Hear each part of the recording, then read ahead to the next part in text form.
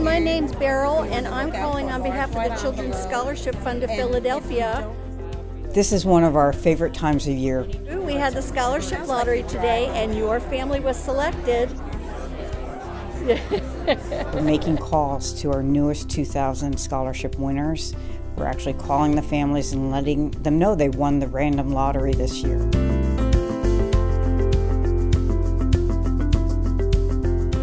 All right, you're welcome. Congratulations again. Good luck. You too. Thank you. Bye bye. And I'm calling on behalf of the Children's Scholarship Fund Philadelphia. Our scholarship lottery was conducted today and your family was selected. Congratulations. And that they really have the means now to uh, provide access to their children for a great four year run at a quality school.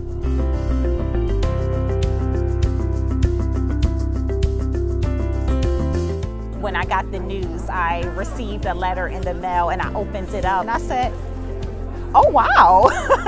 and I immediately started gathering all the paperwork that they were asking for and, you know, completed it and make sure I got all the paperwork out by the deadline. It, it was extremely exciting.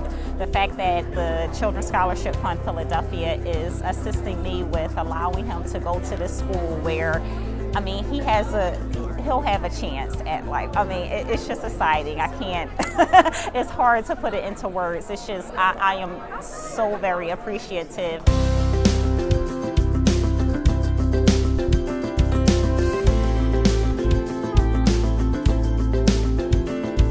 Hi, Patrice. This is Katie McGinty calling. Um, I actually work with Governor Wolf. But I'm not here because of that. I'm, I'm calling you on behalf of the Children's Scholarship Fund. And I'm here with all the leaders of the Children's Scholarship Fund, and they want you to know that you are a winner. And your daughter is a winner. you know, she's very happy. we are lucky in Philadelphia that we have a, a caring, philanthropic community uh, made up of, of wonderful donors. We're here at Franklin Square, our new headquarters, and just moved in a couple weeks ago, and so we're really very proud of the space and happy to share it with the Children's Scholarship Fund of Philadelphia on such a special night. How'd that go? That one went well. She was very excited.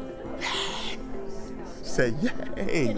Yeah, and she uh, wanted to compose herself because she was driving and she didn't want to have an accident. Here at Franklin Square, we take great pride in being civically engaged. and in our view, we have a responsibility as people that have benefited from all the great things here in Pennsylvania and Philadelphia to give back. My, my son hit the lottery. How you feel? Um, amazing. Like I'm calling other people to bless them, and he got blessed. It's amazing. Congratulations.